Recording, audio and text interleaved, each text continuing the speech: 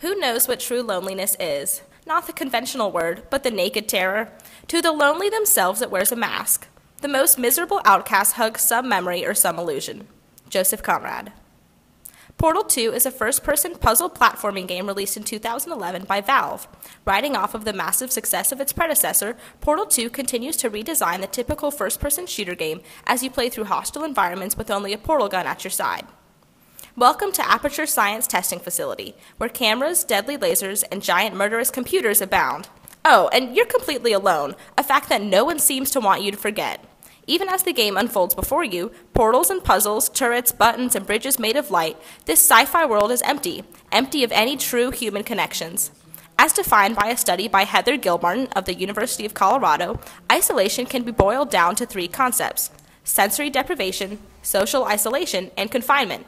While sensory deprivation does not really have any influence in the game, no one would enjoy sitting in front of a black screen for hours.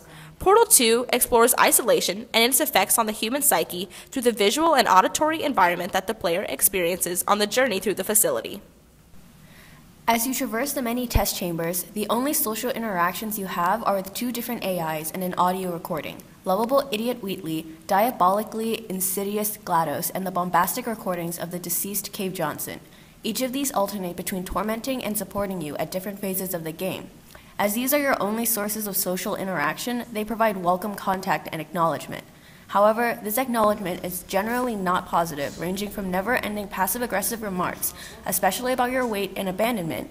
This plate must not be calibrated to someone of your generousness. I'll add a few zeros to the maximum weight.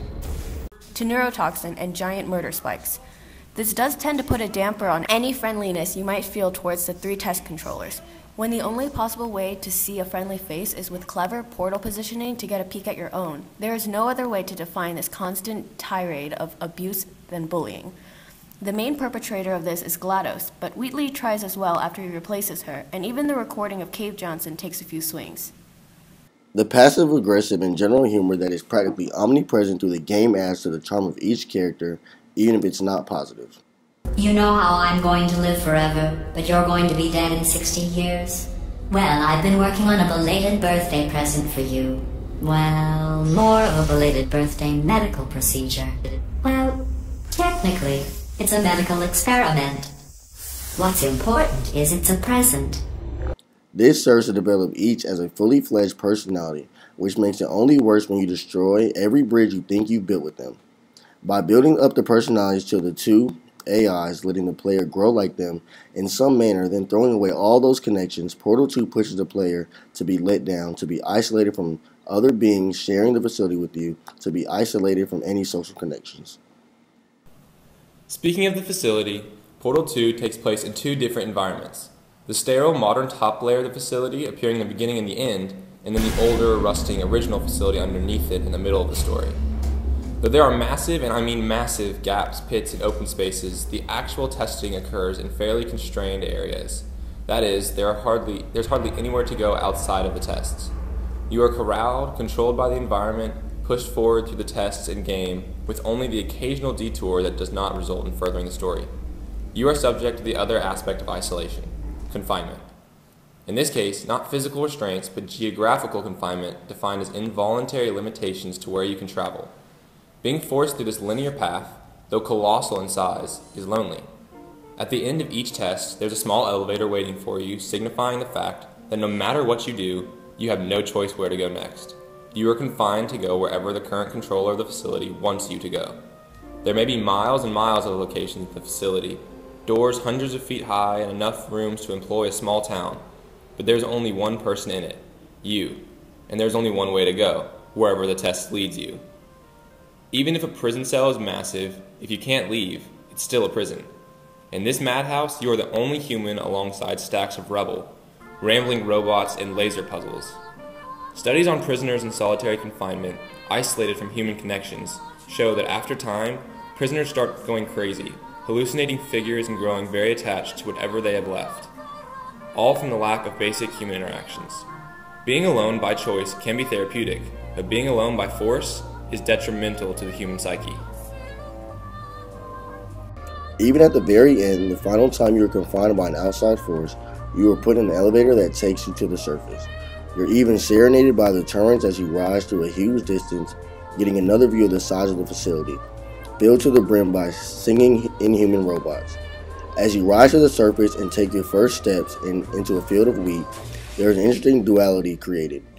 There is still the feeling of isolation, not as a single sign of civiliz- civilization in sight, but now you can have hope and joy that there is no longer an outside force keeping you alone.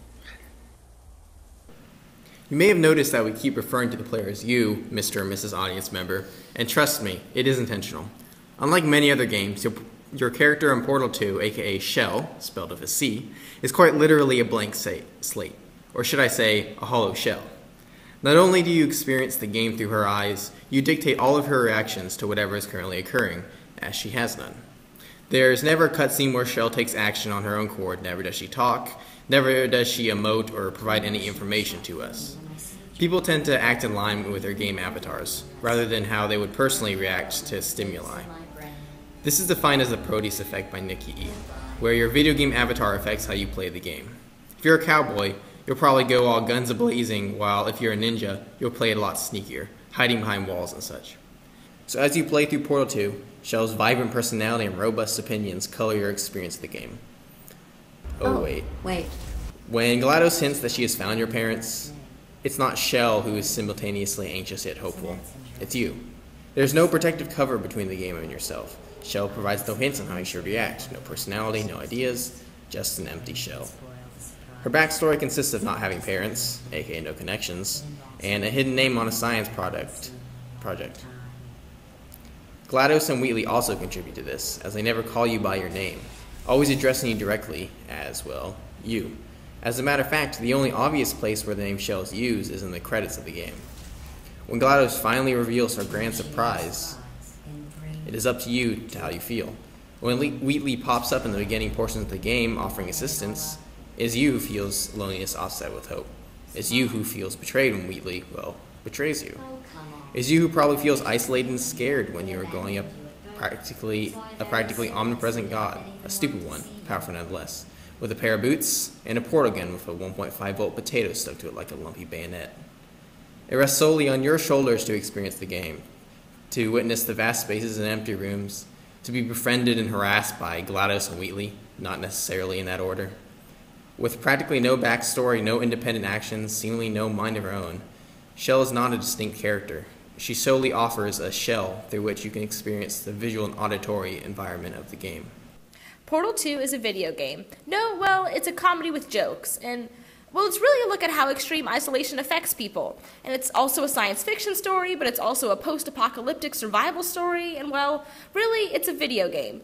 Unlike most other forms of media and literature, video games allow for you to personally experience what the character is going through because the environment and sound can be made in an interactive way. By making the main character an empty shell for you to fill, Valve creates Portal 2 in a way to emphasize these ideas of isolation through social isolation and confinement directly on the player. But ultimately, it is how you play the game that defines how it impacts on you.